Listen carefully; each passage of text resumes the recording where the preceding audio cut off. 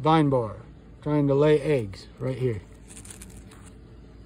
It's a moth. Won't lay on the eggplants.